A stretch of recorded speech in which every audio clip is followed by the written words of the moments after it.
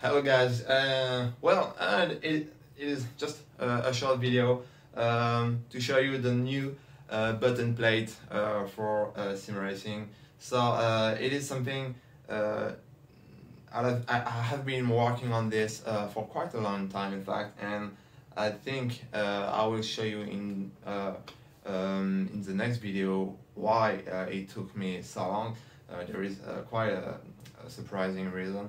Um, but yeah, it's how out. So it is a button plate uh, for SimuCube wireless. Uh, is based on this PCB um, and uh, compatible with this board.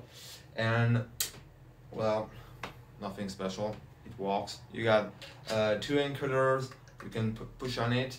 Uh, you got, as you can see, uh, 10 buttons and uh, it is compatible with uh, 70 millimeters uh, PCD uh, steering wheel and quick release.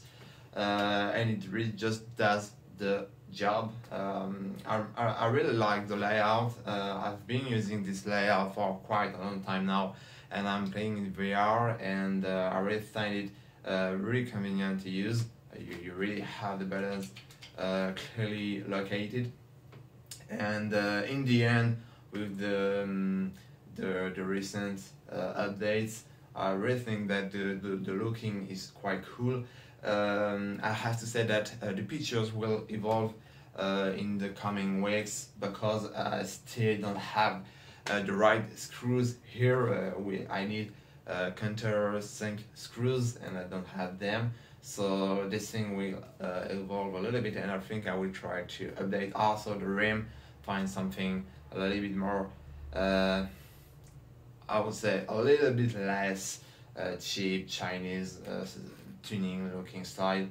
And so pictures will change, but everything is already online, so you can go for it.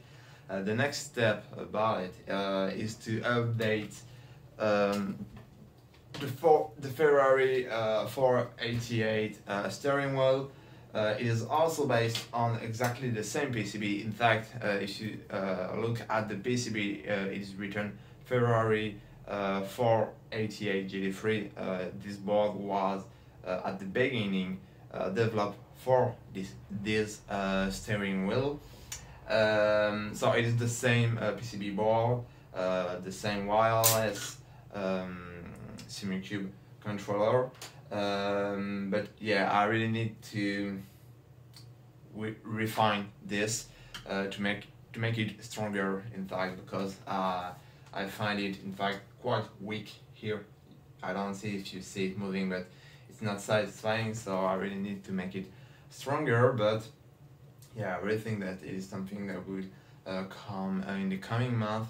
Uh, personally, uh, I am really looking forward to to have this uh, back on my on my rig because yeah uh, sometimes you really want to use uh, a F1 type uh, steering wheel. So and it is the only one I had and because it's uh, basically uh, failing those days I have been able to use them. So I think here we are we are done. So everything once again uh, is uh, is on the free files are uh, available on Thingiverse. So I just have to say, please subscribe to the channel, yeah, and see you soon.